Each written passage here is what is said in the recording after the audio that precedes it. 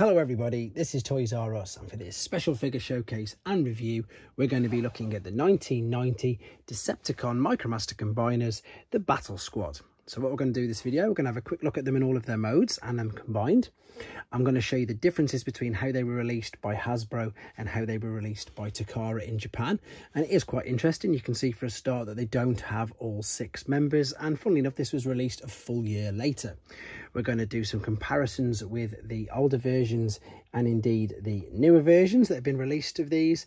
And as I'm lucky enough to have a couple of different types of packaging, we can have a look at the artwork and the lovely battle scenes on the back of that. So it might get a little confusing because in, as I say, 1990, as part of the Hasbro continuity of Generation 1 figures, this was released. So this was known as a Micromaster Combiner. There were uh, four in total, two Decepticons and two Autobots. And the Decepticon ones, one of these was, of course, the Battle Squad. You can see there we've got the Jet, which is made up of two people. I'll go through their names in a second. We've got the anti-aircraft base and we've got the cannon transport. This so happens to be the Spanish version. As you can see, the language is all in Spanish. There's the two team members uh, from each of them. The artwork on them is brilliant. And you've got a little, I suppose, description there showing you what you can and can't do because you can, of course, combine and mix them all up together. So you've got, in fact, there you go. There's your people. So we've got Meltdown and Half Track, which are Meltdown. Ooh, Meltdown is there. There is Half Track. Then we've got Direct Hit and Power Punch. Then we've got Fire Shot and Vanquish. And again, you can see this in more detail on the back. And again the little transformation processes which I'm going to be showing you in a second. We've got a combined tech spec there. And there again we've got some pictures of all of the way that you can combine them now, there's no, unfortunately, any battle scenes on the back of that. It's just obviously the transformation purposes. Whereas if we look at this particular box, this is how they released them in Japan. I'm pretty sure that the MT stood for Micromaster Transport number 9. And this should have had this little box, one of these inside. This one says number 4 on. This has got to be one of the most strangest purpose purchases I've ever made. Because when you open up this, these guys in here are completely sealed on the card still and the previous owner has literally just cut out the um I suppose, yeah, the little transport there. Uh, the little transport is very interesting, to be fair, and I'll show you that in a second. We'll keep looking at the box, though. We've got some lovely artwork there. It's completely different, and you can see here the way they're firing out of the transport. That is pretty much because that's exactly what does happen. It also says here that they combine to form large vehicles, which is what they do. And what you've got at the top, this is the return of convoy I suppose, artwork, and indeed it says it right there. Now, Return of Convoy was a Japanese exclusive toy line released again in Japan in 1991. And if we spin it around to the back, there is the artwork for that. That is, of course, he's known as Convoy in Japan. Of course, he was known as Optimus Prime everywhere else. Uh, you've got Sky Garry there. I think we've got Grandus, Six Liner, and yeah, this is pretty much the majority of the toy line released in that particular year. And again, we've got lovely actual product images of the Micromasters with Grandus and of course in their little troop transports. Right, one last thing to show you with regards to this box. The top corner it says C369. The C stood for Cybertrons, which is Autobots, and its reference number was 369. Right then, I think we better have a look at, in honesty, some of the vehicles so I can show you how the little transport actually worked. So what we're going to do then, we'll start off with the ones that unfortunately they never made it into the Japanese one, which is strange because they didn't make it into the Japanese ones. And these are, I suppose, funnily enough, they were the leader, or the one of them is Direct Hit was the leader um, of this whole team. So here is Direct Hit. He is the front of the um, the cannon transport. Yeah, there we go, because the cannon's on the other one. So if we look at him, very, very basic, nice little bit of detail on the head sculpt.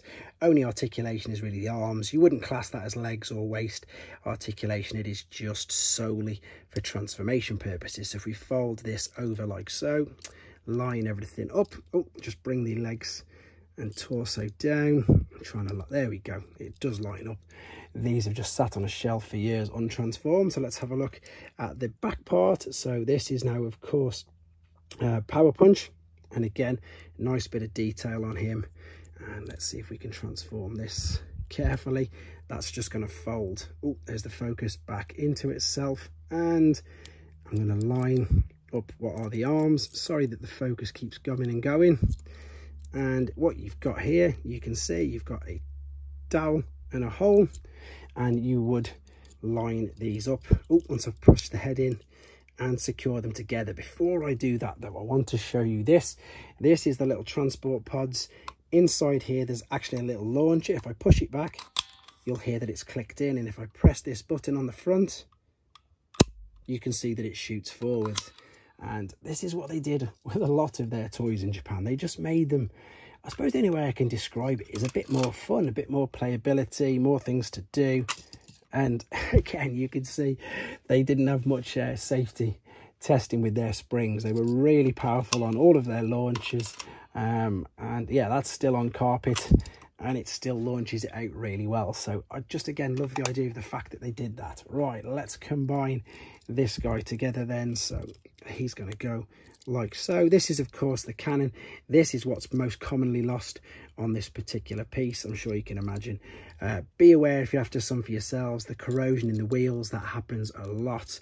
Um, and indeed in the screws, as these are showing some signs of corrosion there as well. Right, let's leave them alone. Let's go on to the anti-aircraft vehicle, which is Meltdown and Half Track.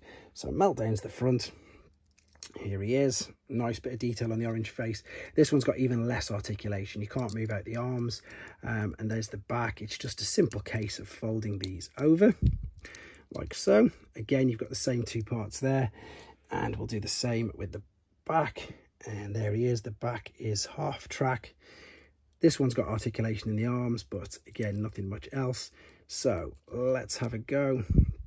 I can't even remember doing this to be honest ever. So everybody can have a quick laugh at me now as I fail to transform a Micromaster. I've just knocked that out the back. Right, let's bring this up, turning it round. Ah, no, what am I doing? I am going to have to turn the arms all the way around. That's it. Totally stuck in this. There we go. Turn the arms around and condense this back over itself. We got there in the end. There we go. To the back. This is good as well. This has got full rotation. And of course these are very commonly missing from it. Now quickly before i put these two together this is what i was on about earlier. We can in fact separate these and you can mix and match any of them. So that works.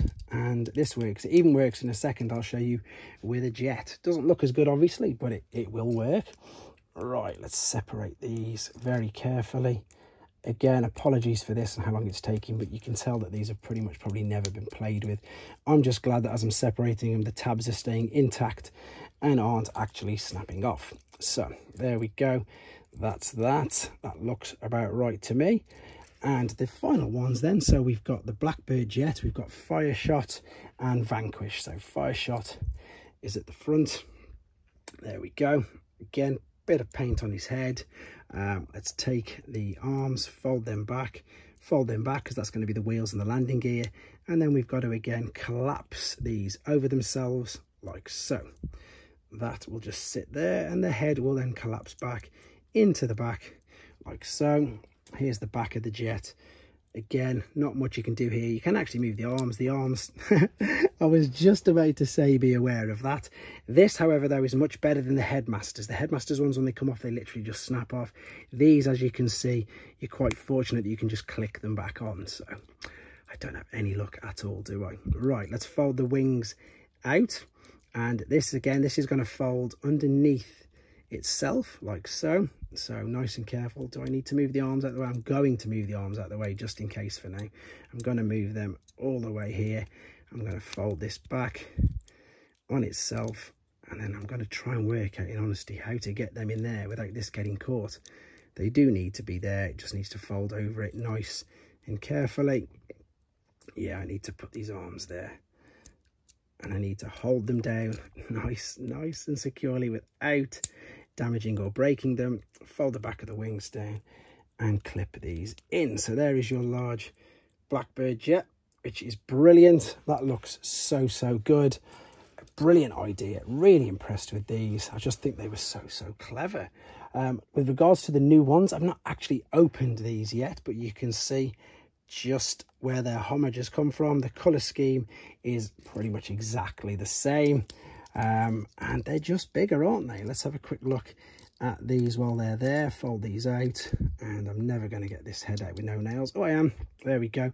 So the only thing that's mainly different is they've done, they've made much more detail, paid more attention, as you'd expect, to the head sculpt, to the arms, to the articulation. And it's just nice to get newer versions of these. But there you go, guys. Hopefully you found this interesting. I hope it brought back a lot of nice memories for you. I know that some of the Micromaster sets uh, were hit and miss with a lot of the fans, but I'm sure you'll agree that there's a lot of playability to be had with them. And they're just overall, I think, fun. The fact that you can combine them, mix them, match them. They're their own little transformers in their own right. And of course, you can play with them as part of bases as well.